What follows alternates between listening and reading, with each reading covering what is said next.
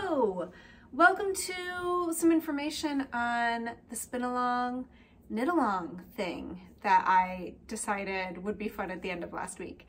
So basically I have some beautiful, I have it all like in a messy little piles right now, but I had ordered this really gorgeous um, fiber from Akara Yarns and here's a little label um, this is her 100% Dorset.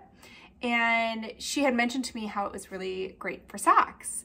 And so I had ordered some and I am in the middle of a couple sweater spins. If you tune into my I'll knit and spin if I want to videos, I have been sharing some of my spinning and I'm doing two sweater quantities right now. Um, those are lengthy projects. So I really wanted, I needed like a quick palate cleanser once I finished plying my last set that I was working on. Um, also, I want to get, I've, I had kind of gotten into the habit of just using my Hansen. This is the Hansen mini spinner little e-spinner. Um, and I'd really started using it basically just for plying. And I kind of wanted to break that habit. I wanted to use it for other things and not just be like, I'm always gonna spin all my singles on my matchless and ply on my Hansen. And there's nothing wrong with that. I just was like, mm, right now my matchless is so tied up with those sweater spins and I needed a quicker like I want something else to spin real quick. So I wanted to be able to utilize this. Um, so yeah, I saw this beautiful braid sitting in front of me and was like, you know what? I can always use another pair of hand knit socks. My friend Andrea Rangel talked me into knitting socks. It was like five years ago now. We were talking about hand knit socks and I was not a sock knitter. I very much was like, you know, with that quantity of stitches, I could knit a sweater. Do I really want to put that on my feet? Um, so after a long discussion, she shared with me all of her, her pro reasons for hand knit socks. And so I was like, all right, I'm gonna do it. And I have not looked back. I now only wear hand knit socks during the colder months. I wear them around my house. I wear them for hiking and walking. I have even worn them running. Um, I am a complete hand knit sock convert. You will always see in our laundry room, we have a sink and above it is always like five pairs of my socks drying. Um, and I think I've gotten in a really good flow with it. Now that I have more hand knit socks, I've gotten into this good flow of like washing four pairs, hanging those up to dry and um, really, really utilizing them. So anyways, my absolute favorite socks are the DRK Everyday Socks. It's a pattern I released, I think it was last fall. Could have looked that up. It all blurs together these days. So um, I have some to show you. I currently have five pairs of these socks. They are just very comfortable. So they, out of all my hand knit socks, they're the ones that I go and reach for every single time. So um, here's the ones that I knit when I was designing the pattern. Um, I do get asked quite often if people need sock blockers for blocking socks. You don't need sock blockers. What is nice about them is just how pretty the socks look when they've been dried on a blocker. And you know, sometimes it's just nice to have some pretty things in life. Um, but you know, like this is the only set I have. In a general rule of thumb, I do not dry my socks on here unless it is the, I um, have just knit them. So usually the first blocking, I dry them on here because maybe I want to take a picture I just want them to be pretty for a minute. Um, but otherwise, I honestly, I wash them in the sink in our laundry room, give them a good squeeze, and we have a bar, and I just drape them over and let them dry. And then they look like this, just long tubes. Um, so when you really, really wear your knits, you you know, it becomes function over um, form. That's not right. Function over pretty is what we're gonna say. Um, so anyways, this pair is knit out of Birch Hollow Fibers. This is her Sojourner base, which is a non-superwash sock base that has some nylon in it. And I mixed it with her Sylvia sock base um, to knit these. This is kind of like a throwback to my childhood, these little stirrup style. It was just fun color blocking um, that I wanted to do with those ones. And then this is Gauge Dye Works in my all-time favorite colorway, Whiskey in a Teacup. I have two pairs in this colorway alone, and I have another skein that I have saved because I love these ones so much that um, if they ever wear out, I want to be able to knit another pair. So um, those are those. And so yeah, anyways, how this knit along, spin along thing came to be, I decided I needed a new spin and I wanted some more socks and I default to the DRK Everyday Socks and I was sitting here spinning and I thought, you know, this would just be a lot more fun with friends. So I hope that you will join me. You do not have to be a spinner. So quickly, spinners, I would love to spin along. Um, whoever wants to spin, jump in. My dream is that we're gonna have some new spinners and some experienced spinners and that we're all gonna share our best tips and tricks for spinning for socks and cheer each other on um, because I think spinning for socks is really fun and I love hand spun hand knit socks. They are so cozy and comfortable. And for those of us who really love spinning yarn from beautiful hand-dyed braids, it is such a great way to play with how to spin and ply and see what's going to happen to those colors depending on all those choices that you make and and beyond spinning and plying i mean the you can do so much with like turning it into a bat using your blending board all kinds of fun things so if you are not a spinner, you are still more than welcome to join. You can absolutely use commercial yarn. You can use, as I said, the yarns I used um, when I designed the pattern is Birch Hollow Fibers and Gauge Dye Works. So it works great with solid yarns, speckled yarns, self-striping yarns. You can dig into your stash. Um, recently, I actually just knit these up over winter break because I, again, decided I needed more socks. Um, and just wanted to play. It was like a treat yourself holiday knit. Um, so I wanted to knit something that I knew well because I've knit this pattern so many times. And so I actually just grabbed two different skeins from my stash of spin cycle yarns dyed in the wool.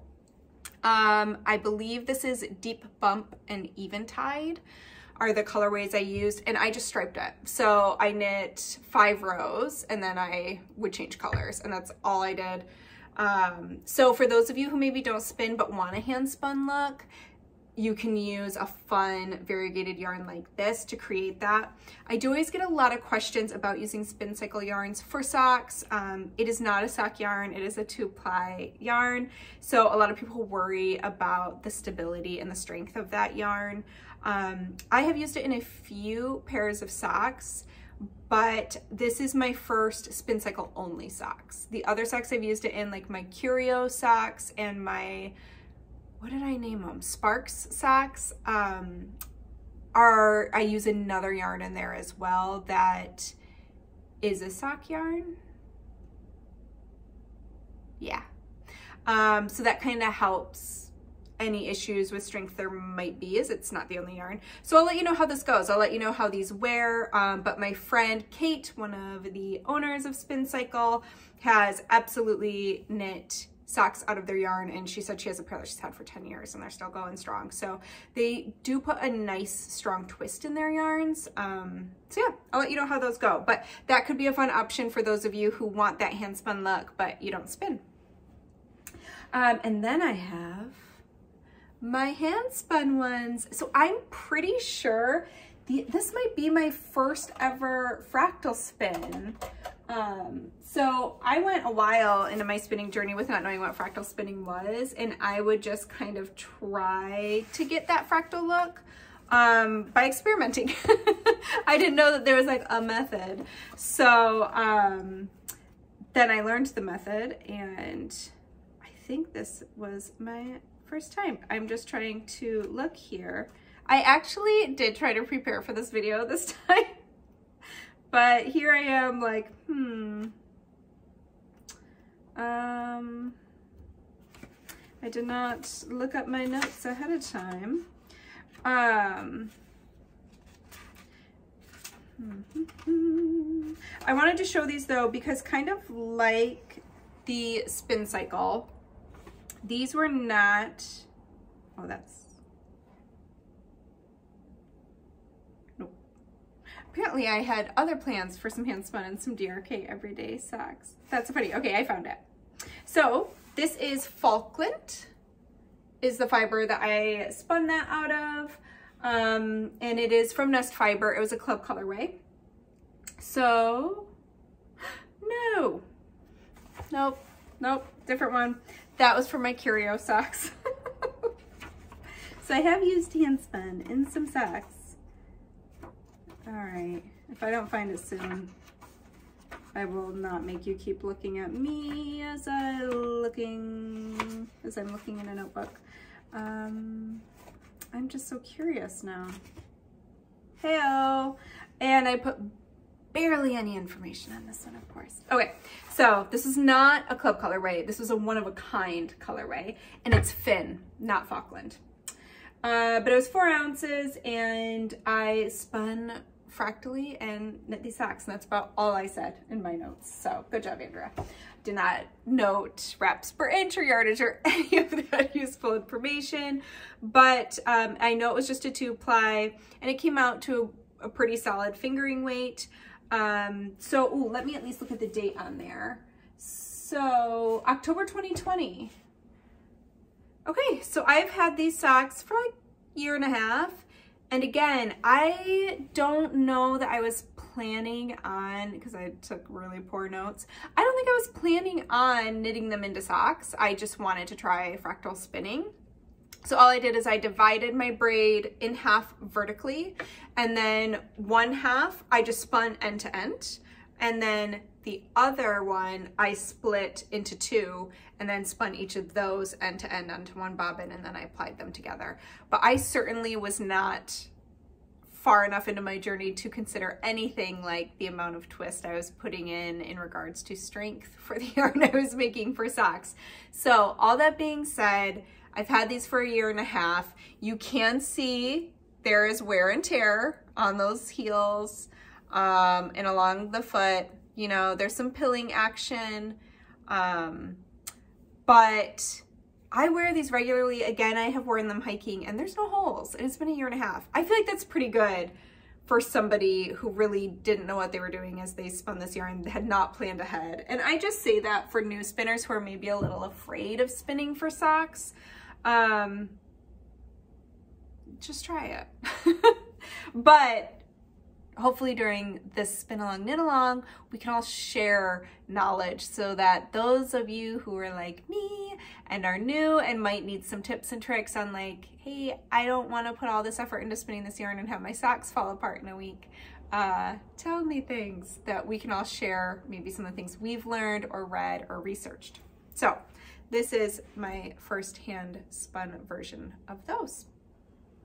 Okay, um, so knit along information. I, again, this was totally spur of the moment. just decided I wanted you all to join me. So I am going to host it kind of the way I always do with my knit alongs. I did set up a forum over in my Ravelry group. I will pop that link below. But if you are a member of my group, you can head on over. You'll see it right there um, stuck to the top of my discussion forum. Um, otherwise, click the link below. For those of you, if there's anybody who's not using Ravelry, um, we will also share on Instagram, and I think that will be a really nice place where people can quickly share all of their like photo updates and everything like that. Um, and also maybe find some new spinners and knitters to follow, which is always really fun, I think. Um, so for that, we're gonna do the hashtag, which will be DRK spin it to knit it, K-A-L for along. I'll write that below as well so that you can see exactly how to spell it. And one of the things I love now on Instagram is that you can follow a hashtag. So it's just like following a person, but it's everyone, you know, it populates anyone who uses that hashtag so that we can all watch each other on this little journey. Um, so the whole goal is to spin some sock yarn and to knit the DRK Everyday Socks. I'm gonna um, gather up some prizes. I already have a couple ideas for prizes, but I'll post about those along the way. And I think to close this out, I'll just kind of show you what I'm spinning and my plan. So I kind of held it up earlier. Um, so this is Dorset from Akara Yarns and in the colorway Peacock. So it's mostly blues, but then it has these little tiny hints of green. There's one. And so what was interesting about this is when I was splitting it up, because it's a tonal, it's pretty, it's fairly solid. There's definitely some different colors in there, but I did not feel like I needed to go through fiddly fractal plans because the color wasn't um, placed in a way where I felt like fractal spinning it was, was worth it. I just, and yeah, I just didn't want to. so I divided it into, I stripped it down, I think six times. So splitting it vertically, that braid six times. Now I will say that the braid did not want to be split nicely. And so I kind of had to do my best. And then I used my scale and I weighed all my little nests of yarn and um, I'm spinning, because I had six, I'm spinning two per bobbin to make a three ply yarn. And I just used their weight to kind of bundle up my sets of two um, so that the bobbins would be as even as I could get them. Um, I've already done one bobbin. It's so funny because with the Hansen, I think these are 14 ounce bobbins that's massive. For those of us who are used to spinning like my matchless the bobbins hold maybe four ounces um, depending on how you spin that yarn. So this is this is a third of my um, fiber and it looks like there's barely anything on there. But so I have already spun one bobbin. Um, I am on to the second. I am just doing a short forward draft. I'm getting a decent amount of twist in there to add strength for the socks. And I actually did a control card and I'm really proud of myself. I think this might be the first time that I have done a control card in the couple years I've been spinning. So I also taking um, Kim McKenna's class on oh, what's it called? It's leveling up your, leveling up your spinning nuances and making a better yarn, something like that. Um, but it's on School of Sweet Georgia. And I was watching that class and I had, it had not occurred to me to when I'm doing my ply back, if I am planning to do a three ply yarn to fold it once more so that the ply back actually represents three plies instead of just letting it fold back on itself once, which would only be two ply. Um, so I loved seeing that trick. I found that really helpful. So here is my little ply back sample. And then um, thank you to Jillian Moreno, who is giving me tips on these cards. And so I then wrapped my single um, around the card too so that as I'm spinning, especially on my wheel because I on my Hansen because I am practicing using this still and just um, wanting this to be like a really nice smooth as consistent as it can be spin. Um, now I can just lay my spin across these to kind of make sure that my thickness is staying pretty consistent. Um, and otherwise, I put on here my goal, how I am drafting it, the company who made the fiber, fiber content, um, fiber prep, and also I'm putting that I'm spinning it on my Hansen. Um, since I have a hanson Hansen and a Matchless, oh, oh! Excuse me one minute. Um, well, let's just hope it's still recording through there.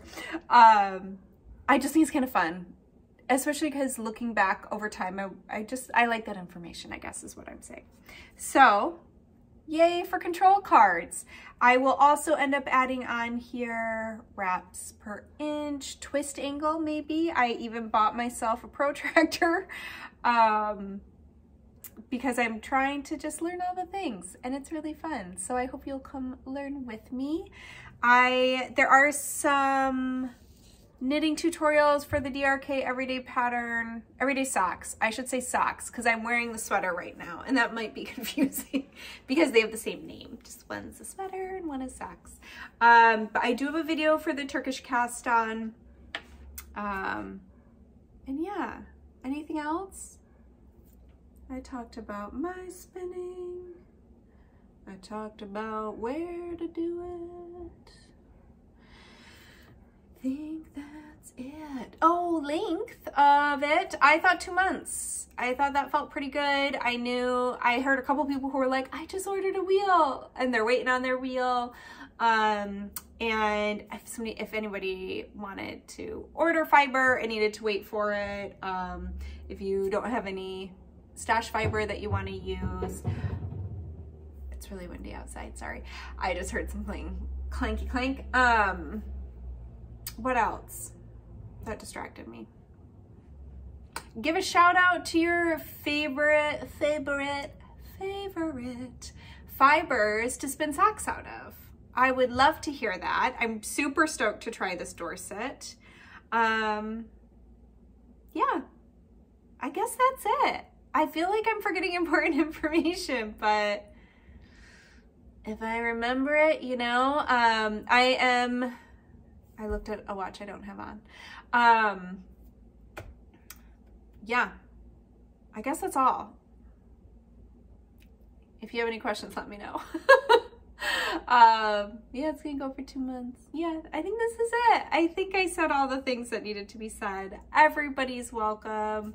I would love to make some new spinner and knitter friends, so I hope you'll join and I'll see ya, see ya in the knit along. All right, bye everybody.